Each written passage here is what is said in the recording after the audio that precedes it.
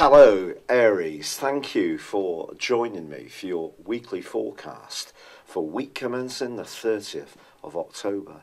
There may still be that collection of energy in the intense and passionate Scorpio, which can see you wanting to get to the bottom of all sorts of mysteries or possibilities and potential.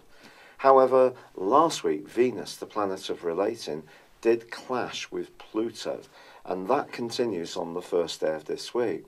If there is someone who seems to be offering you the world, and it could be in a professional situation as much as a romantic one, just be conscious of what their motives may be, and perhaps also your own.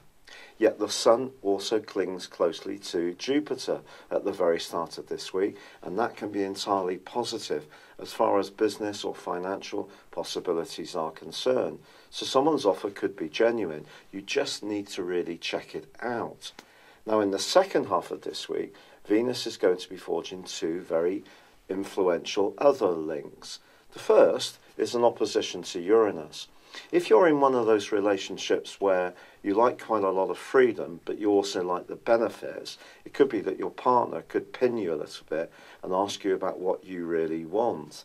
On the other hand, if a tie is going from strength to strength, Venus's more stabilizing link with Saturn could see one side take a giant step forwards into something much deeper and more committed. Remember, all this energy in the sign of Scorpio can be about change. And the full moon, which occurs on Saturday in the sign of Taurus, suggests that your values could change, or it could be your financial situation, or you may need to juggle your resources to make sure that they're finally in tune. So that's something that you can be thinking of as this week draws to a close. But if you are single, this is still a very passionate potential this week. And perhaps, maybe, your need for freedom can be perhaps challenged, or perhaps it's a dramatic change or meeting that's going to bring a sense of excitement to your week. It's been a real pleasure being with you. Thank you for joining me. Good luck, and goodbye for now.